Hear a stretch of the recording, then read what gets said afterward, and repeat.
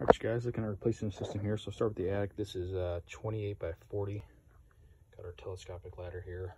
We'll need some walk boards coming across into here. We're about eight feet to the scuttle, then another two feet. So that'd be a good L right there. Uh, we got joists actually running both ways.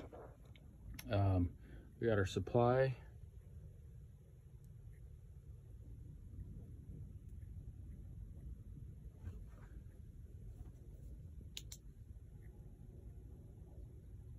our air handler. Return. Coming into a return box. 20 inch duct on the back. Um, our line set and wiring, this is cooling only. We have a boiler. Runs out over here. The three quarter inch PVC is not insulated. We need to take care of that. There is no wider outlet up here either. Uh, there's actually a bathroom fan. Right, the wiring's right here. Uh, so we'll probably tap off of that for our light. There's the fan piping going out.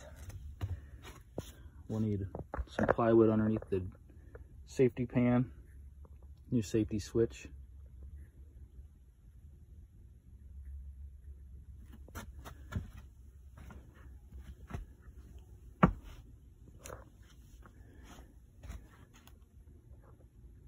That's really it.